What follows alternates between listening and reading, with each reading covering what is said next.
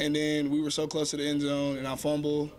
It, it was more of like it hurt me, and it hurt it hurt me that I let the ball go for our big guys, you know, and all our all my other teammates, and it just really hurt me. But I can't lose my I can't lose my composure like that. It's, that's something Mike's talked about. You've grown in that area before. Is this another growing moment for you? Yes, sir. Do you think? Go ahead. Do you How about your think patience? Go ahead, I'm sorry. How about your patience the first three games? I think you carried it, what, like 19 times?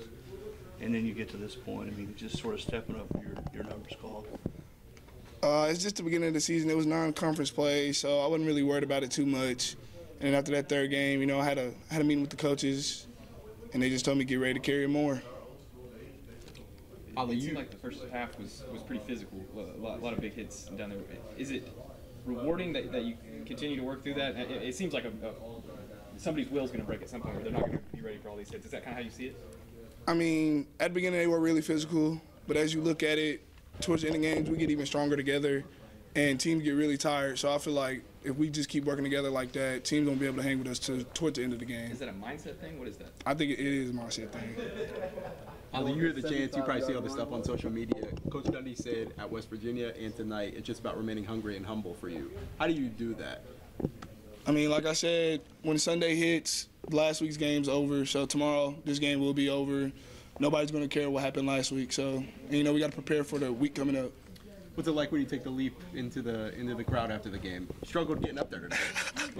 So I got up there and everybody's pushing forward and I almost fell off. But luckily, Coach Blacknick was there to put me back up there because I probably would have. But it's, it's, a, it's a great feeling. You know, everybody, our crowd's been behind us for these last couple weeks and they really just, you know, set it off the top whenever we just hear them chanting for us. Does it make you feel good um, to have these type of games and opponents are watching film and they know that they have to prepare for you? Does that kind of make you feel good that going into a game that they're, you know, Yes, man, it makes me feel good because if they game plan to stop the run, then we have great receivers, great receivers on the perimeter that will make plays. As you see, Leon Johnson, five receptions, 150. That that's insane. That's crazy. How many, how many flowers you got there? Is that over a dozen? I can't even count. I can't even count. I don't know. I gotta ask What's them. that color? That's sort of, Oh, I don't know. who are they from? My mom and my aunt. Okay. Is it 75 yards? The last one, is that kind of a will break for you? Breaking that will, because you outran it for like a good 40, maybe 50 yards. You had three or four guys chasing. That kind of breaking that will you?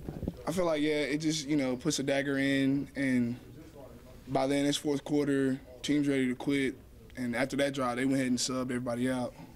Did you blow the kiss to the pom squad or the camera? Ah, yeah. No comment.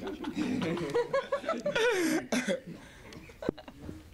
Shortly after that, you popped up on the big screen right in front of all your offensive linemen. Looked like you were trying to get them a little bit of, uh, of love. Was that the case over there? it was definitely the case. You know, they don't get they don't get to carry the ball, so they don't really get the recognition they need. And without them, none of this would be possible. So I try to give them as much recognition as I can.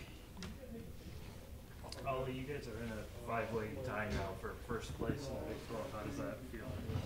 I feel I feel it's it, it's great because when you look back at the beginning of the season, people probably thinking, oh, Oklahoma State's out the out the race, out the run, and I just feel like we just keep working harder each week and just keep upsetting people.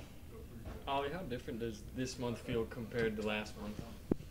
Uh, it's real great. You know, the team chemistry, the team bonding, everything's just getting better and better. And as we grow closer to each other, nobody can stop us.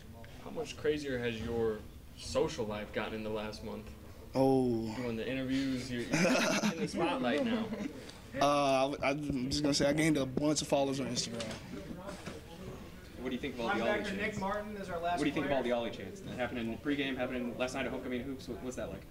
Uh, it's just it's great, honestly. Whenever you you know the whole school's behind you and behind your team, and it's just it's just a great thing to hear.